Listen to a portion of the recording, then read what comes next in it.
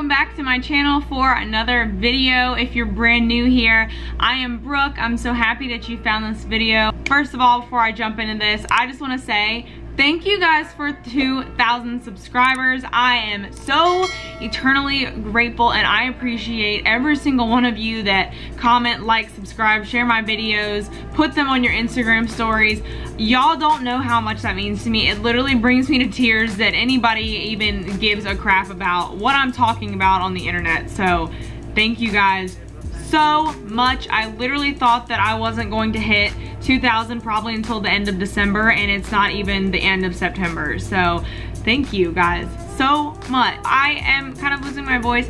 But for this video, I'm going to be doing five things that you should know about dating a Scorpio. If you are dating a Scorpio and you just don't know, the, don't know that much about them, you want to date a Scorpio, you are just kind of interested in a Scorpio and you want to know the things to look out for or, you know, the pros of dating one, this is for you. Like I've said this in my other videos before, this particular series is all about the sun signs. So Scorpio sun sign. That's probably what most of you guys, if you're not familiar with, with astrology or moon signs or ascendant or rising signs, your sun sign is the one that you know the most about. Like if you know you're a Scorpio, it's that's your sun sign. I'm not trying to generalize signs in these videos at all. You never know truly anything about a person's astro astrological chart until you see all of their signs and all of their planets and houses and everything this is just for Scorpio suns. It's just five things that I've noticed about them as people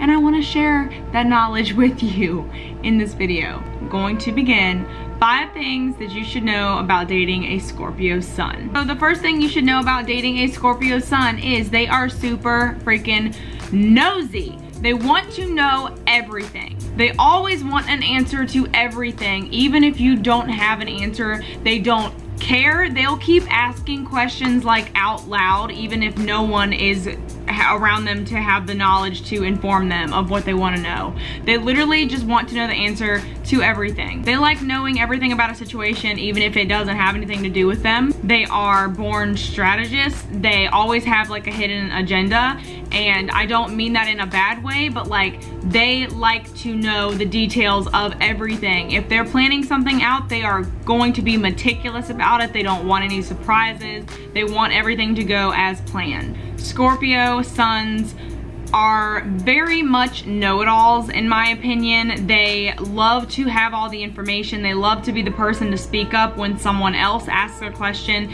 They just love being like that go-to for information and knowledge. They like being a source of whatever, whether it be like comfort or a place to go to someone to keep your secrets or someone just to ask questions instead of looking it up on Wikipedia, that's them. They love being your go-to person when it comes to pretty much anything that you want to learn about. Number two, Scorpio suns are very, very suspicious of other people, which is ironic because they are the most secretive sign. This goes hand in hand with them being nosy as hell. They absolutely despise not being in the know. And if they think that you are up to something behind their back, they think you're cheating on them, they think you're talking to other men or women behind their back, they will snoop they might look through your phone, they might look through your Instagram messages, they might look through your personal belongings, they might talk to your friends, they might follow you, um, they might just do whatever they can to get the inside scoop about whatever it is that you're doing and they are just very paranoid in that aspect. They always kind of think that someone's out to do them a little bit dirty, as do all of the water signs, honestly. They're also really good at, um, if they don't, if they're not the type of person to go through your stuff and violate your privacy like that, which is great, um, they will hint at the topic and get you to tell them to their face. They would much rather someone verbally admit what they've been doing behind their back than violate their privacy privacy and go through their things. Um, they would much rather be the one that's like like hints at it until the boyfriend or girlfriend admits to what they've done and then the Scorpio can stand there and just be like, I trusted you, really? Like, I gave you my everything, look what you did. You lost a beautiful angel baby flower cupcake. Like, you should be ashamed. They can smell a lie or a sketchy situation from miles away. So if you're gonna be with a Scorpio, you cannot be the lying, cheating, scheming type. They don't do it, they don't mess with it, they're not interested. They are not gonna have it. Only they are allowed to be secretive. Only they are allowed to be extra private. They're really possessive over their significant others and their friends, honestly. They get super jealous really, really easily, and they don't really like to share what they have. So they don't really like to share their friends. They don't want their friends going off and hanging out without them, and they don't like to share their significant other with other people who might be trying to infiltrate the relationship, which like I can't blame them on that. But they will go to extraordinary measures to find out if their significant other is being a sneak, nasty, doo-doo, um, bum, fool, scum, scrub. That was a lot of words. Number three, Scorpio suns will go above and beyond for the people that they love. Their biggest issue though is not fully understanding that not everyone has the same love language. They don't half-ass anything. It is all or nothing or they want nothing to do with it. Like I said, they have issues understanding that not everybody loves the way that they love. So don't be surprised if a Scorpio throws you a massive birthday party and then in return for their birthday, you don't make a huge grand gesture and they end up mad and hurt and upset and they think that maybe you don't care about them as much as they care about you. They very, very, very, much are the type of person who is like, I do so much for everyone else and then I just get left behind. I just get kicked aside. My heart is way too big. No one can handle me. No one, I'm too much for people. I'm not enough for people. Go on a Scorpio's Twitter timeline. I guarantee there's gonna be like one or two of those tweets. I guarantee it. Number four, Scorpio suns are really giving and loyal people. So whether they're your friend or their girlfriend, they're your girlfriend or they are your boyfriend, they are extremely loyal and kind people at heart.